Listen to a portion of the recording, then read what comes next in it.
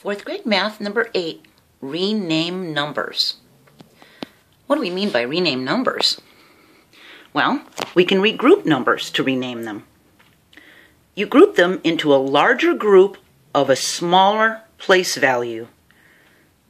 So, this 30 right here means three tens, right? We could also say it means 31s. So we take a larger group, 30, and put it into the smaller place value of ones instead of just three tens. That is how we rename them. The ones place is a smaller place value, and we put more of them in it. Okay? So, I'm going to show you something, and I'm going to use money, which everyone understands, to explain my point. We have one little square here. We have 10 squares here. That's 10, a bar of 10. Here we have a flat of 100 and we have a cube of 1,000. Okay? These are no different. These are exactly the same as money. This little one cube is the same thing as a penny. See? It's one cent, right?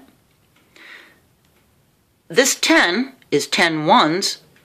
It's like 10 cents or 10 pennies, right? Because penny is just one. It's 10 pennies in in a dime, right? See?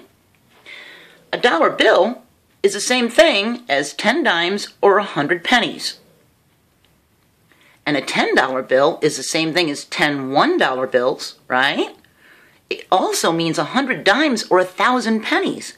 See how we're making the group get larger but putting it into a smaller place value? Well, that's what we're doing today. So, this bar right here of 10 is the same thing as 10 ones, 10 of these. This flat of 100 is the same thing as having 10 of these or 100 of these. 100 ones. A cube of a 1,000 is the same thing as having 10 100s, 10 of these stacked up all on top of each other to form a cube, or 100 of these 10s or a 1,000 of these ones. Okay? Let's take a look at this. Our number system, our place values, are called base 10. Base 10 means that everything is based off of 10. That's easy, isn't it? When you have 10 ones, you have a 10. When you have 10 tens, you get a 100. See how everything is 10? When you have 10 hundreds, you get a 1,000. When you have 10 thousands, you get 10,000. When you have 10 ten thousands, you get a 100,000. When you have 10 hundred thousands, you get a million.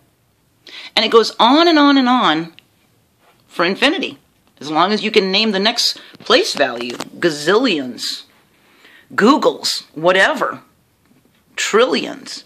And it just keeps going on and on and on, times by 10.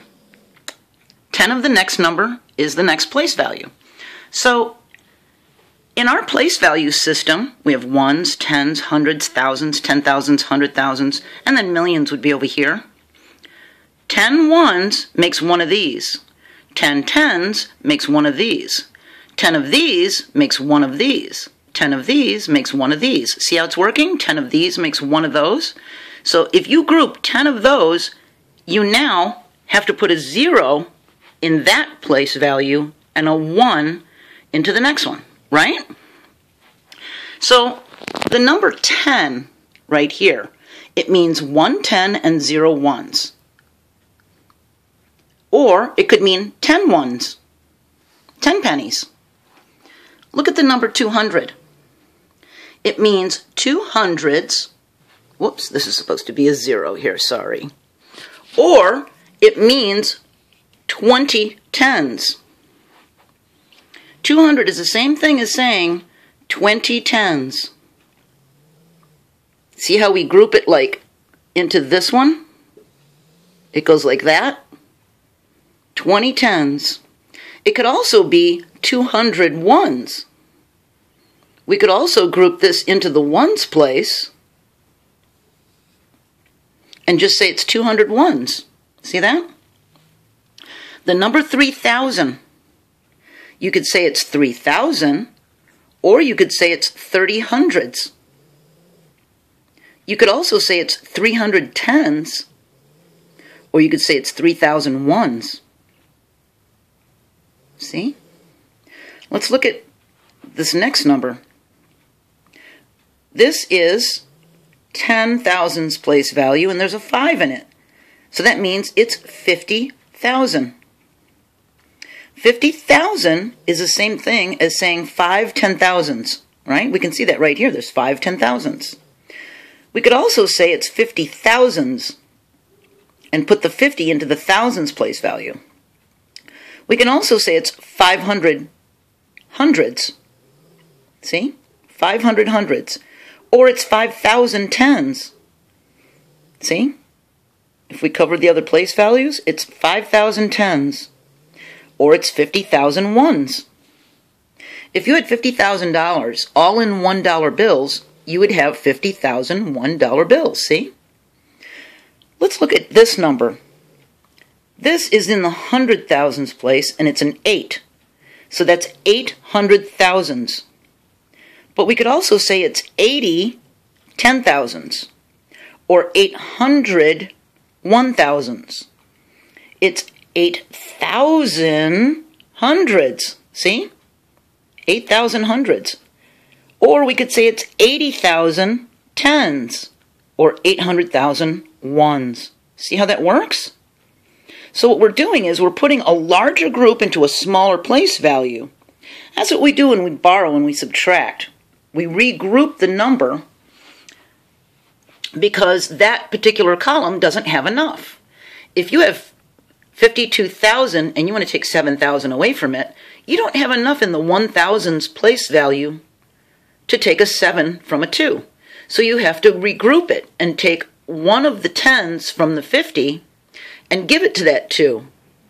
So it becomes a 4. Now you have to add the 10 and the 2 together and it becomes a 12.